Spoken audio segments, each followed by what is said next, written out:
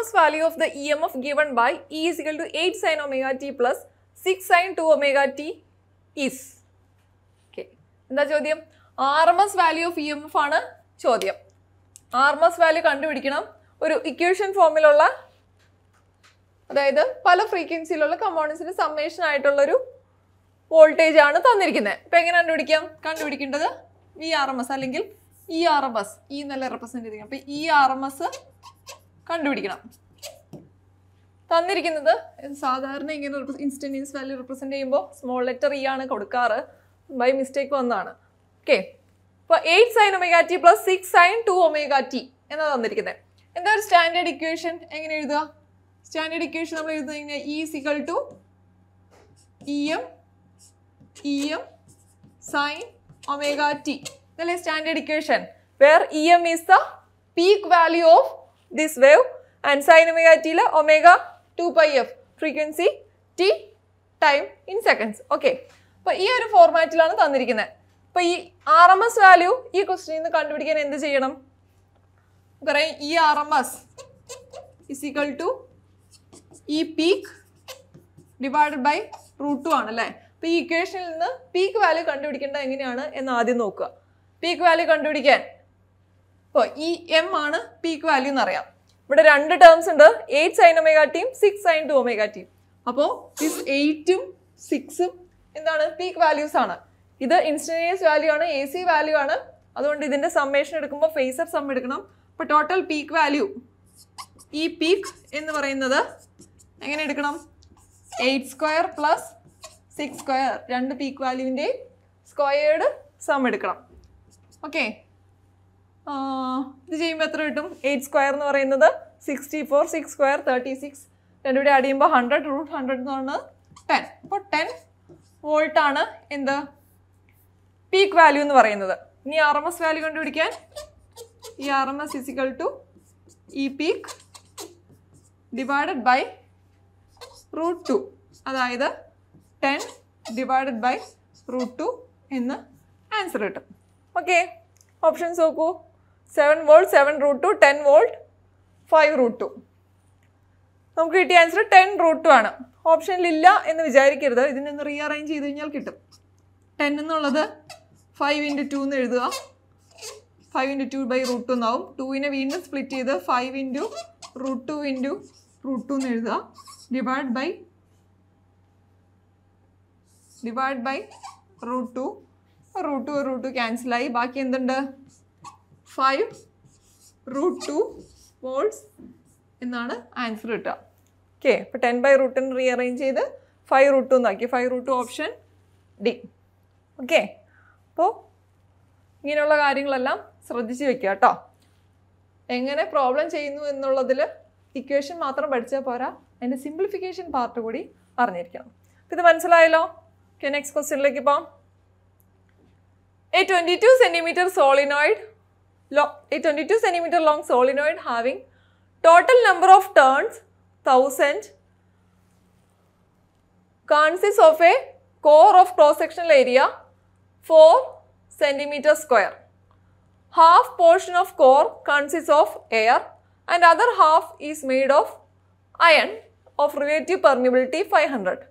The self inductance of the solenoid is എന്താ ചോദിച്ചിരിക്കുന്നത് self inductance L ആണ് ചോദിച്ചിരിക്കുന്നത് അല്ലേ? സെൽഫ് ഇൻഡക്റ്റൻസ് എൽ ഓഫ് സോളിനോടാണ് ചോദിച്ചിരിക്കുന്നത്.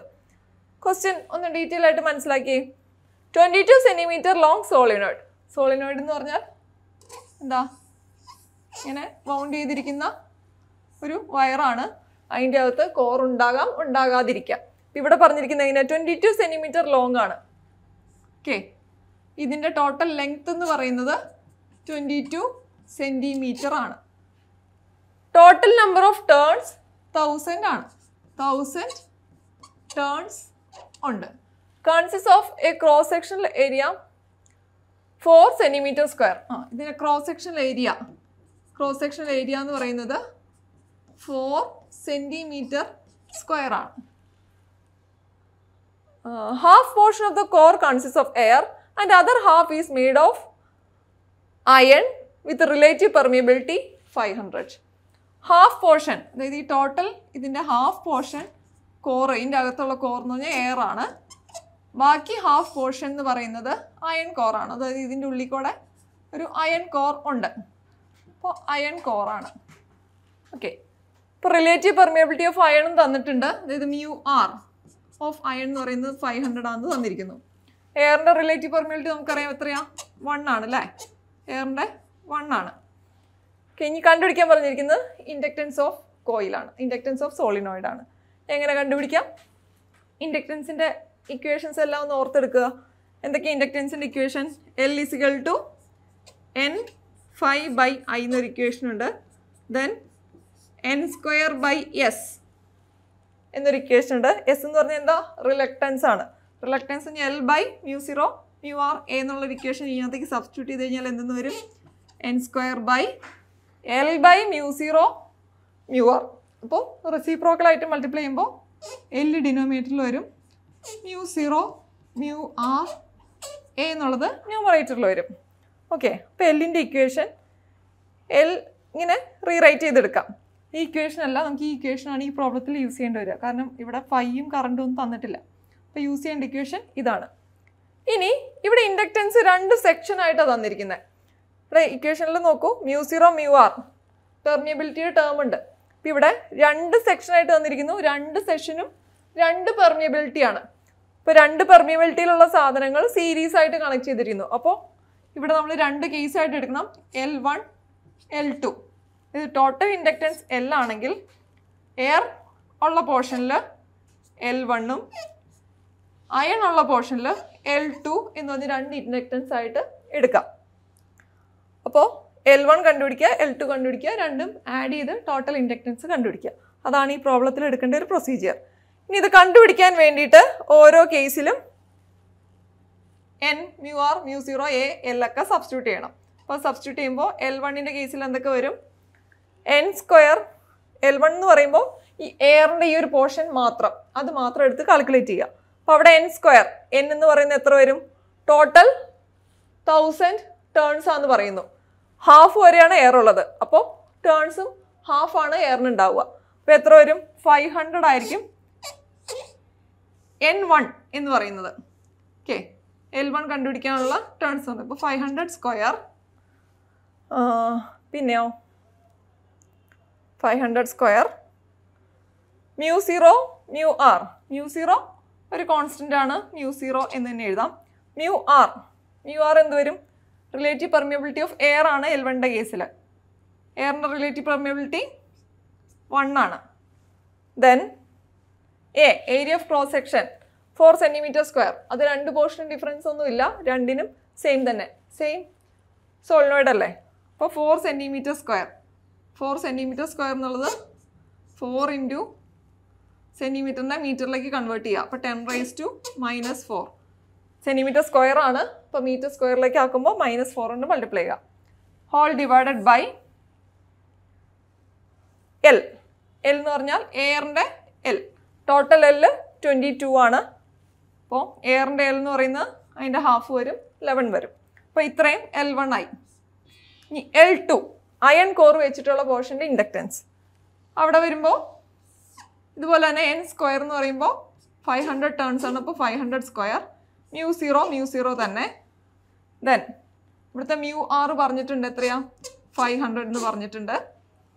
പിന്നെ ഏരിയ ഓഫ് ക്രോസ് സെക്ഷൻ അതും ഫോർ സെന്റിമീറ്റർ സ്ക്വയർ തന്നെ. ഇപ്പോൾ four into ten raise to minus four then L എന്ന് പറയുന്നത് ഹാഫ് ആണ്. അപ്പോൾ ഇവിടെ ലെവൻ എൽ ടുവിന്റെ കേസിലും ലെവൻ തന്നെ വരും അല്ലേ? അപ്പോൾ അതും സബ്സ്റ്റിറ്റ്യൂട്ട് ചെയ്യുക. അപ്പോൾ എൽ വണ്ണും എൽ ടുവും കിട്ടി. ഇനി ഇതിന്റെ സിംപ്ലിഫിക്കേഷൻ പാർട്ടാണ് ഓക്കെ ഇത് സിംപ്ലിഫൈ ചെയ്യാനായിട്ട് ആദ്യം കോമൺ ആയിട്ടുള്ള ടേംസ് നമുക്ക് പുറത്തേക്ക് എടുക്കാം. എൽ ഇസ് ഈക്വൽ ടു ഏതൊക്കെ കോമൺ ആണ് ഫൈവ് ഹൺഡ്രഡ് സ്ക്വയർ കോമൺ ആണ് മ്യൂ സീറോ കോമൺ ആണ് four into ten raise to minus four common ആണ് ലെവൻ കോമൺ ആണ്. ഡിഫറൻസ് വരുന്നത് മ്യൂ ആറിൽ മാത്രമാണ് അല്ലേ? മ്യൂ ആറ് മാത്രമേ ഡിഫറൻസ് വരുന്നുള്ളൂ. അപ്പോൾ കോമൺ ആയിട്ടുള്ളതൊക്കെ പുറത്തെടുക്കുകയാണെങ്കിൽ five hundred square into mu zero into four into ten raise to minus four four into ten raise to minus four divide by eleven അല്ലേ? അത്രയല്ലേ കോമൺ വരുന്നത്? അതെ അത്രയും കോമൺ അപ്പം ഇത്രയും പുറത്തെടുത്ത് കഴിഞ്ഞാൽ പിന്നെ ഇതിന്റെ ബ്രാക്കറ്റിന്റെ അകത്ത് എന്തൊക്കെ വരും? ബ്രാക്കറ്റിന്റെ അകത്ത് ഒരു ബ്രാക്കറ്റ് ഓപ്പൺ ചെയ്യാണ്. ഇവിടെ വൺ വരും. ദെൻ ഈ കേസിൽ ഒരു ഫൈവ് ഹൺഡ്രഡ് കൂടി വരും. യു ആർ അല്ലേ? ഫൈവ് ഹൺഡ്രഡ് ബ്രാക്കറ്റ് ക്ലോസ് ചെയ്യുന്നു.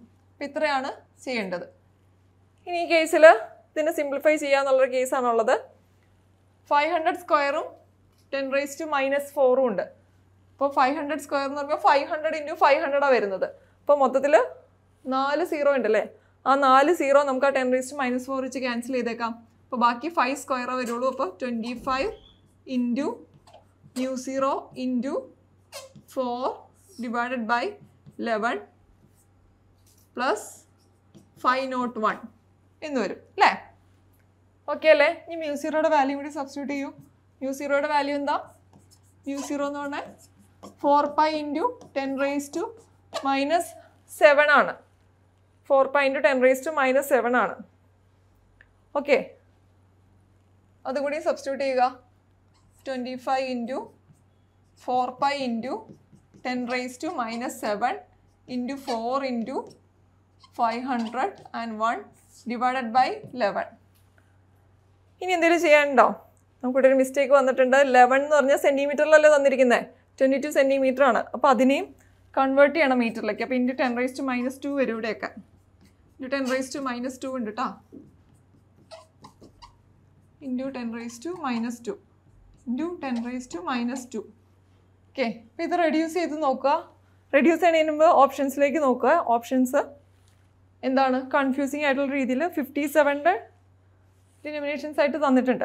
അപ്പോൾ അത് ചെയ്ത് ഇപ്പോൾ ആക്യുറേറ്റ് ആൻസറിന്റെ ആവശ്യമില്ല. പക്ഷേ എന്താണ്? ഈ പോയിന്റ് ഡെസിമൽ പോയിന്റ് കറക്റ്റായിട്ട് കണ്ടുപിടിക്കണം. അപ്പോൾ ഇത് റെഡ്യൂസ് ചെയ്ത് ten raise to minus two ten raise to minus seven reduce ചെയ്യുമ്പോൾ ഇവിടെ ten raise to minus five വരും.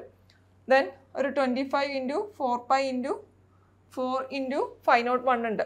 അത് മൾട്ടിപ്ലൈ ചെയ്യുക ഡിവൈഡ് ബൈ ഇലവൻ കൂടി ഉണ്ട്. അത്രയും ചെയ്ത് കഴിയുമ്പോൾ ആൻസർ നമുക്ക് കിട്ടുക.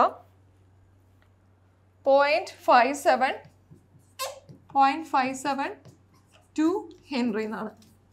Okay point five seven two henry എന്നാണ്. ഓപ്ഷൻസിൽ ഓപ്ഷൻ സി ആൻസർ ആയിട്ട് വരും. Point five seven henry okay ഈ പ്രോബ്ലം മനസ്സിലായാലും ഇതും എഗെയിൻ ബേസിക് ഇലക്ട്രിക്കൽ ക്വസ്റ്റ്യൻ തന്നെയാണ്. അത് രണ്ട് കോറൊക്കെ വെച്ചിട്ട് ഇച്ചിരി കോംപ്ലിക്കേറ്റഡ് ആയി ചോദിച്ചിരിക്കുന്നുള്ളൂ. അപ്പോൾ ഈ ഒരു method L is equal to L one plus L two എന്നുള്ളൊരു കൺസെപ്റ്റ് ഉണ്ടെങ്കിൽ എല്ലിന്റെ ഇക്വേഷൻ അറിയാമെങ്കിൽ സിമ്പിളായിട്ട് ഇതുപോലെ ചെയ്തു പോകാം ബാക്കിയുള്ളത് കാൽക്കുലേഷൻ പാർട്ടാണ് അത് ചെയ്ത് തന്നെ പഠിക്കുക. ഓക്കെ ദെൻ നെക്സ്റ്റ് ക്വസ്റ്റ്യനിലേക്ക് പോകാം which of the following is a solution to Ferranti effect Ferranti effect options shunt capacitor shunt reactor series capacitor none of the above എന്താണ് ഫെറാൻഡി എഫക്റ്റ് ക്വസ്റ്റ്യൻ ചോദിച്ചിരിക്കുന്നത് ഫെറാൻഡി എഫക്റ്റ് ഒഴിവാക്കാൻ avoid ചെയ്യാൻ നമുക്ക് എന്ത് ചെയ്യാൻ പറ്റും എന്നുള്ളതാണ് ചോദ്യം. അപ്പോൾ ഫെറാൻഡി എഫക്റ്റ് എന്താണെന്ന് അറിഞ്ഞിരിക്കണം അല്ലേ? എന്താ ഫെറാൻഡി എഫക്റ്റ് ആ പവർ സിസ്റ്റത്തിൽ നമുക്ക് ഒരു സെൻഡിങ് എൻഡും ഉണ്ട് റിസീവിങ് എൻഡും ഉണ്ട് അല്ലേ? അതായത് സെൻഡിങ് എൻഡ് എന്ന് പറഞ്ഞാൽ ജനറേറ്റർ ഇരിക്കുന്ന അല്ലെങ്കിൽ പവർ പ്രൊഡ്യൂസ് ചെയ്യുന്ന സ്ഥലം. റിസീവിങ് എൻഡ് എന്ന് വെച്ച് കഴിഞ്ഞാൽ കൺസ്യൂമർ സൈഡ് അപ്പോൾ യൂഷ്വലി എന്താണ്? ഈ സെൻഡിങ് എൻഡിൽ നിന്ന് ഒരു വി എസ് വോൾട്ടേജ് സപ്ലൈ ചെയ്യുവാണെങ്കിൽ റിസീവിങ് എൻഡിൽ ഈ വി എസ് വോൾട്ടേജ് തന്നെ കിട്ടുമോ ഇല്ല. ട്രാൻസ്മിഷൻ ഡ്രോപ്പും ലൈൻ ഡ്രോപ്പും അങ്ങനെയുള്ള കാര്യങ്ങളെല്ലാം കഴിഞ്ഞ് ഇവിടെ റിസീവിങ് എൻഡിൽ കിട്ടുന്ന വി ആർ എന്ന് പറയുന്നത് usually less than sending end voltage ആയിരിക്കും. അല്ലേ? ഈ ലൈനിന്റെ ഡ്രോപ്പും കാര്യങ്ങളെല്ലാം കഴിഞ്ഞിട്ട് ഇവിടെ റെസിസ്റ്റൻസ് ഡ്രോപ്പ് ഉണ്ടാകാം ഇൻഡക്റ്റൻസ് ഡ്രോപ്പ് ഉണ്ടാകാം ഓക്കെ ഇൻഡക്റ്റൻസ് അല്ല റിയാക്റ്റൻസ് ഡ്രോപ്പ് എന്ന് പറയാം. എക്സ് എല്ലും സിയും ഉണ്ടല്ലോ കപ്പാസിറ്റർ ഇൻഡക്ടറും ഉണ്ട്. അപ്പോൾ ഇങ്ങനത്തെ ഡ്രോപ്പുകളെല്ലാം കഴിഞ്ഞിട്ട് റിസീവിങ് എൻഡിൽ എത്തുമ്പോൾ സപ്ലൈ എൻഡിനേക്കാളും ലെസ് വോൾട്ടേജ് ആണ് നോർമലി കിട്ടുക. അതാണ് നോർമൽ കേസ് ഓക്കെ ഇനി ഈ ഫെറാൻഡി എഫക്റ്റ് എന്ന് പറഞ്ഞാൽ ഒരു അബ്നോർമൽ കേസാണ് അതായത് receiving end voltage greater than sending end voltage എന്നുള്ള ഒരു കേസാണ്.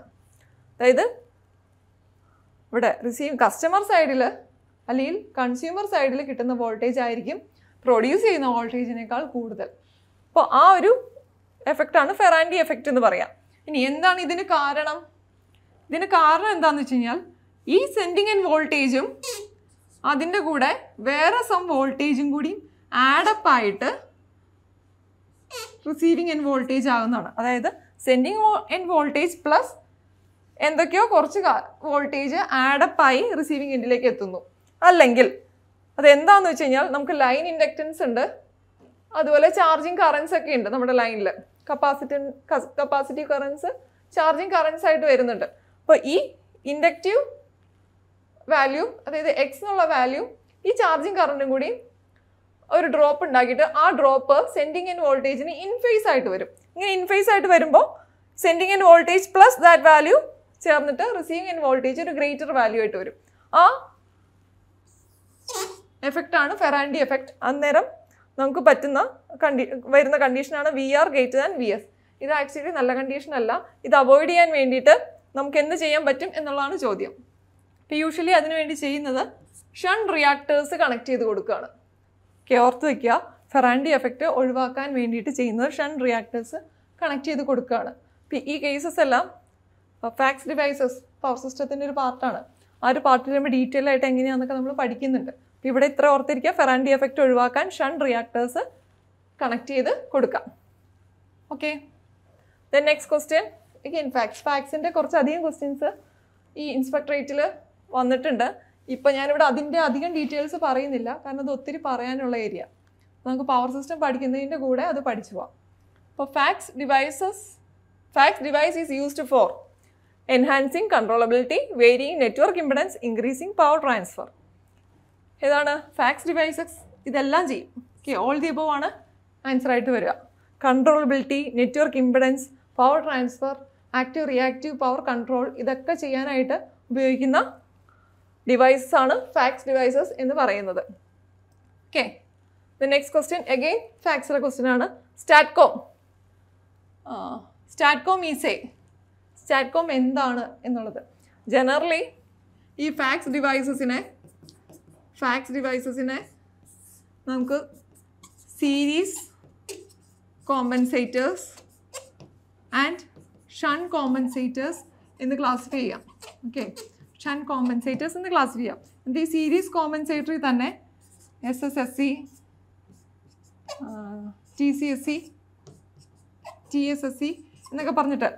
അതായത് ഇതൊക്കെ ഓരോ കൺവേ സീരീസ് കണക്ട് സ്വിച്ച് കൺവേർട്ടർ അങ്ങനെയുള്ള എല്ലാത്തിനും ഡെഫിനേഷൻസ് ഉണ്ട് കേട്ടോ അപ്പോൾ അങ്ങനെ കുറേ ടൈപ്സ് ഉണ്ട്. അതിൽ shunt കോമ്പൻസേറ്ററിലാണെങ്കിൽ STATCOM then static VAR compensators അങ്ങനെ ക്ലാസിഫൈ ചെയ്ത് പിന്നെ ഇതിന്റെ അടിയിലേക്കൊക്കെ ഇനിയും പഠിക്കാനുണ്ട്. അപ്പോൾ ജസ്റ്റ് ഇത്ര പറഞ്ഞിരിക്കുക ഫാക്സ് സീരീസ് കോമ്പൻസേറ്റേഴ്സ് ഉണ്ട് ഷൻ കോമ്പൻസേറ്റേഴ്സും ഉണ്ട്. അത് സീരീസ് ആയിട്ട് കണക്ട് ചെയ്യുന്നതാണ് സീരീസ് കോമ്പൻസേറ്റേഴ്സ് ഷണ്ടായിട്ട് പാരലായിട്ട് കണക്ട് ചെയ്ത് കൊടുക്കുന്നതാണ് ഷൻ കോമ്പൻസേറ്റേഴ്സ് അപ്പോൾ ഇതിനകത്ത് ഈ ഷൻ കോമ്പൻസേറ്റേഴ്സിൽ വരുന്നതാണ് സ്റ്റാറ്റ്കോം ഈ സ്റ്റാറ്റ്കോം എന്ന് പറഞ്ഞാൽ എന്താണ് എന്ന് പഠിച്ചാലാണ് ഈ ക്വസ്റ്റിന്റെ ആൻസർ എഴുതാൻ പറ്റുള്ളൂ. Variable impedance type shunt compensator variable impedance type series compensator switch to converter type shunt compensator switch to converter type series compensator അപ്പോൾ ഞാൻ പറഞ്ഞു ഷൺ കോമ്പൻസേറ്റർ ആണെന്ന് പറഞ്ഞു. അപ്പോൾ തന്നെ ഈ ഓപ്ഷനും ഈ ഓപ്ഷനും കട്ടായി പിന്നെ ഷൺ കോമൻസേറ്ററിൽ തന്നെ വേരിയബിൾ ഇമ്പിഡൻസും ഉണ്ട്. സ്വിച്ച്ഡ് കൺവേർട്ടറും ഉണ്ട്. ഇതിനകത്ത് സ്റ്റാറ്റ്കോം സ്വിച്ച്ഡ് കൺവേർട്ടർ ആണ്. ഓക്കെ അപ്പോൾ ഈ ക്വസ്റ്റിന്റെ answer switched converter type shunt compensator എന്ന ആൻസർ വരാം.